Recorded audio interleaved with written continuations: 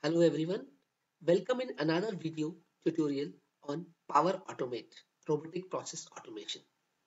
I am Saurabh Jain and today is a very exciting topic, sending dynamic emails via Gmail from Excel email list.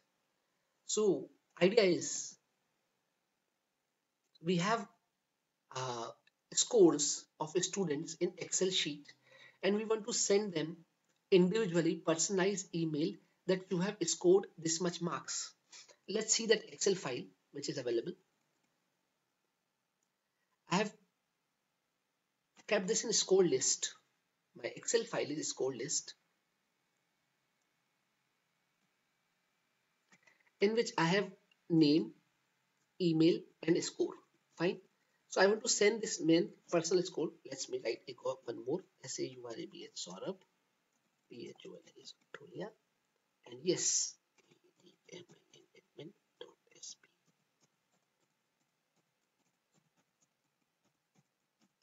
this is another email I'm adding. And say score is 88 fine. So this is the file. So now what I want to do is from I want a process in which this Excel is opened up and we have from 2 to 8 rows. We have around 1 2 3 4 5 6 7 email address. So first free row is 9th fine. So first free cell is 9th and we want to use till 8 so we want to sell all the users from 2nd to 8th fine. So this 2 to 8 computer has to find itself. So let's close this again. And we have to create a process automation to do the same. So let's open our Power Automate desktop app.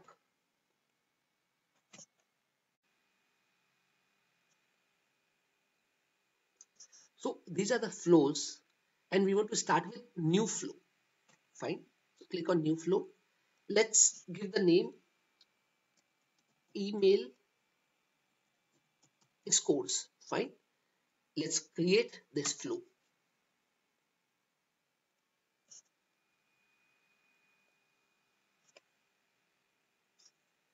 So we have a playground where we have to create the processes to read this.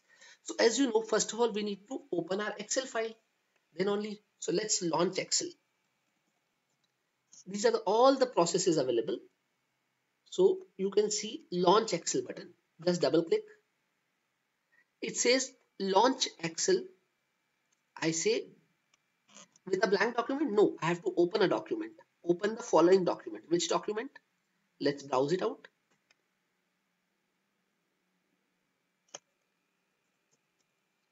Score list, fine.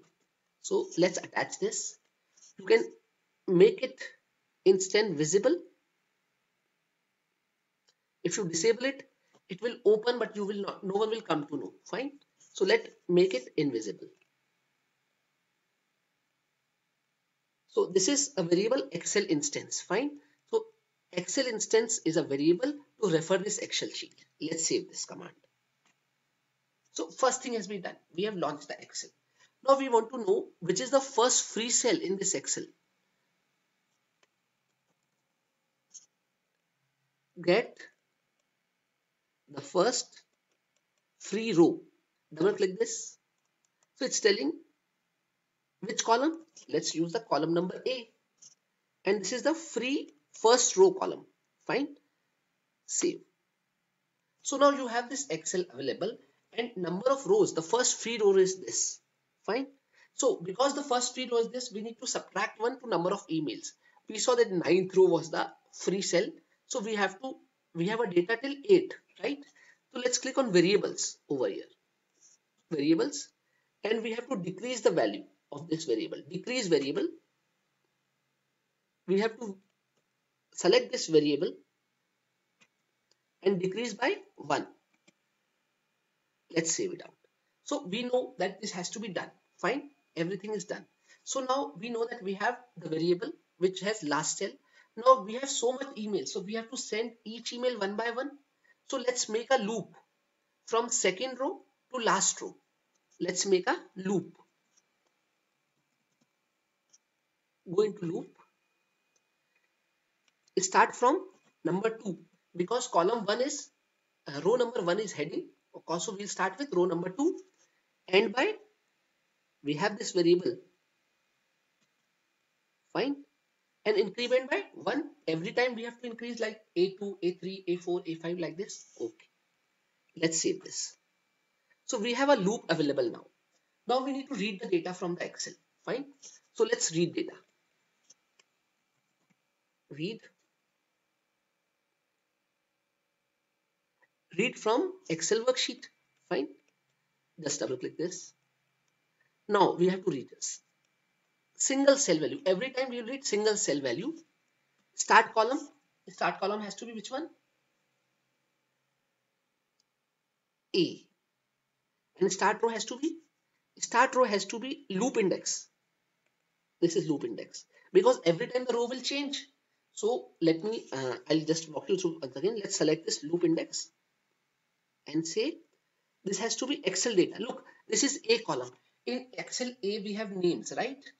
and in uh, B we have emails and C we have scores. So I'll use the start column number A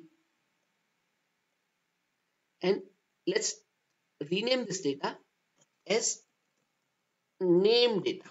This will help me to understand. Let me save it out. So every time this will be used in the name data, the new name will come. Fine. Let's copy this and again paste double click it out now this time we have to read the data from B which is our email data. Let's rename this email data. Save.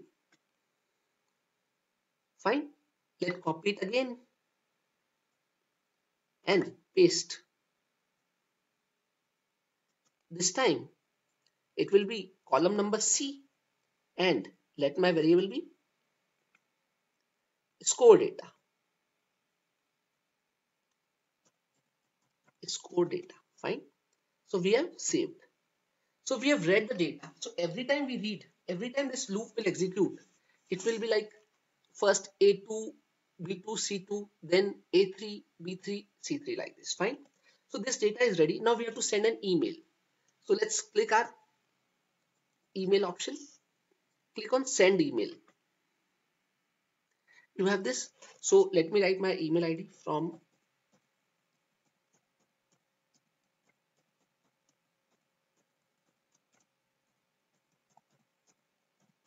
this is my email id sender's display name Saurabh Jain 2 in 2 I have to write the this email data.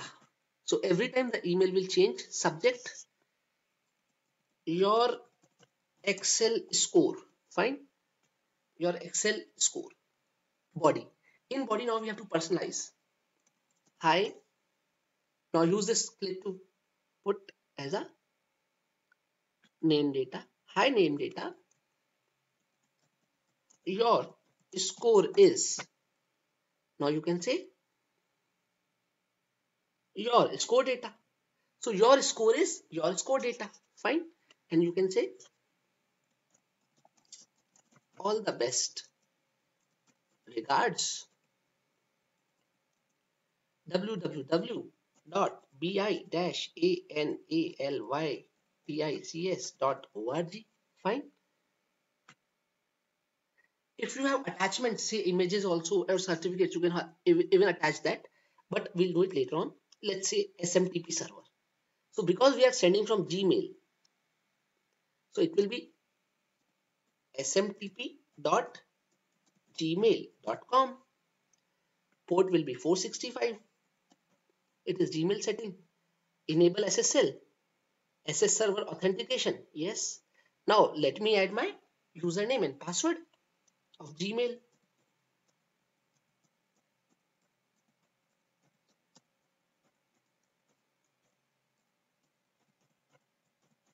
and my password. one thing is important that in our Google account, we have to make allow less secure x to be true. Then only we'll be able to send this mail. Fine. And this has to be done. So everything done. Let's save it out. So this is our process has been set up. What we have done, launch Excel, get the first free row, subtract one from the row. Now read the data loop by loop. So let me tell you once again what is this. This every time value variable produces loop index. So loop index will be first two, then three, then four, five, six, seven like this. Okay, save. So what we say, loop index. So start row is A2, A3, A4 like this. Okay, save. So this is our process automation ready.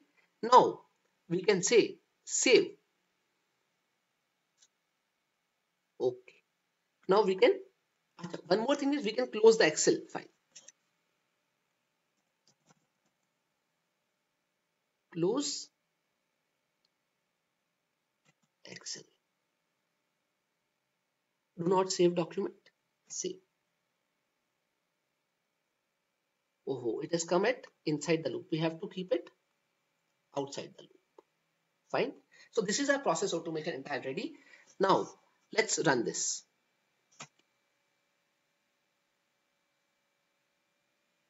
The process is started.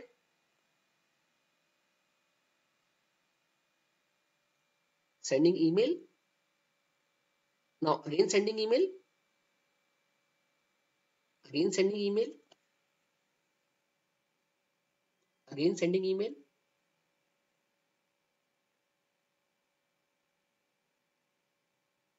So look, if there are 100 emails, it is doing the manual process for you. But yes, it is doing. The process has been completed. Now let me open my email to check. See this one. Let me open Chrome and see did I receive the email. Last one was mine. gmail.com your excel score. I got the email.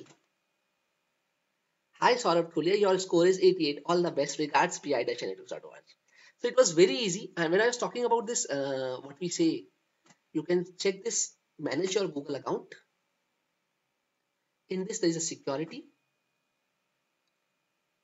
In this you will say less secure apps on. This has to be done for sending from gmail. Fine. So this is how we automated the score sending scores to student process. Hope you enjoyed it. If you enjoyed join us on bi-analytics.org we have a specific club created for power automate so we'll be sharing lots of examples over there. If you have any automate process that you want to do you can write in the comment. Sure.